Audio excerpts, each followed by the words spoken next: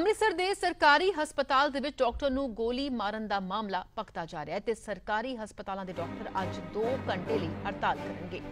ਅੰਮ੍ਰਿਤਸਰ ਦੇ ਸਰਕਾਰੀ ਹਸਪਤਾਲ ਜੋ ਘਟਨਾ ਵਾਪਰੀ, ਜਿੱਥੇ ਡਾਕਟਰ ਨੂੰ ਗੋਲੀ ਮਾਰੀ ਗਈ ਉਸ ਨੂੰ ਲੈ ਕੇ ਸਰਕਾਰੀ ਹਸਪਤਾਲਾਂ ਦੇ ਡਾਕਟਰ ਅੱਜ 2 ਘੰਟੇ ਲਈ ਹੜਤਾਲ ਕਰਨਗੇ। ਸਵੇਰੇ 10 ਵਜੇ ਤੋਂ ਦੁਪਹਿਰ 12 ਵਜੇ ਤੱਕ ਰੋਸ ਇਹ ਡਾਕਟਰ ਜਤਾਉਣਗੇ।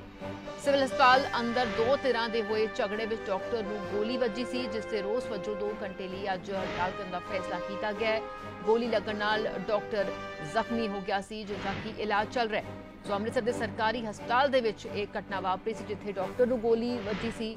ਸੋ ਇਸ ਮਾਮਲੇ ਵਿੱਚ ਸਰਕਾਰੀ ਹਸਪਤਾਲ ਦੇ ਡਾਕਟਰ ਆ 2 ਘੰਟੇ ਲਈ ਹੜਤਾਲ ਕਰਨ ਦਾ ਉਹਨਾਂ ਵੱਲੋਂ ਫੈਸਲਾ ਕੀਤਾ ਗਿਆ ਹੈ। ਸਵੇਰੇ 10 ਵਜੇ ਤੋਂ ਦੁਪਹਿਰ 12 ਵਜੇ ਤੱਕ ਆਪਣਾ ਰੋਸ ਜਿਹੜਾ ਹੈ ਇਹ ਡਾਕਟਰ ਜਤਾਣਗੇ, ਜਿਸ ਨਾਲ ਡਾਕਟਰ ਨੂੰ ਗੋਲੀ ਵੱਜੀ ਸਿਵਲ ਹਸਪਤਾਲ ਦੇ ਅੰਦਰ ਦੱਸਦੇ ਕਿ ਦੋ ਧਿਰਾਂ ਦੇ ਝਗੜਾ ਹੋਇਆ, ਜਿਸ ਵਿੱਚ ਡਾਕਟਰ ਨੂੰ ਗੋਲੀ ਵੱਜੀ ਸੀ ਔਰ ਇਸ ਹਾਦਸੇ ਡਾਕਟਰ ਜ਼ਖਮੀ ਹੋ ਗਿਆ ਸੀ, ਜਿਸ ਦਾ ਕਿ ਇਲਾਜ ਹਸਪਤਾਲ ਦੇ ਵਿੱਚ ਚੱਲ ਰਿਹਾ ਹੈ।